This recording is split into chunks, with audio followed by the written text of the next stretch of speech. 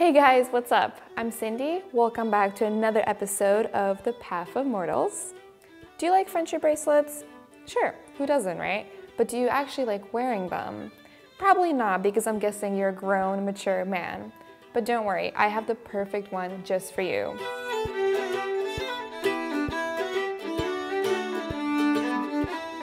So this is Hibernia, the perfect bracelet for adults. It has some really cool Celtic motifs.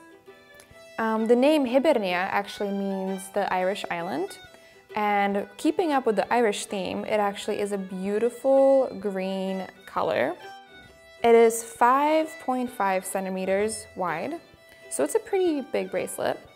Um, it is adjustable here with the string, and it's actually made of very comfortable leather. The inside is very soft and the outside is pretty hard to protect you.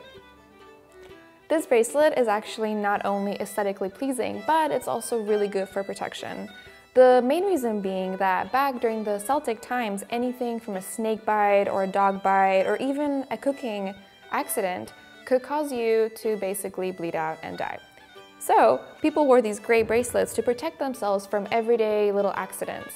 Um, this was mostly worn by children and women and young girls, but I think today it could be worn by anybody.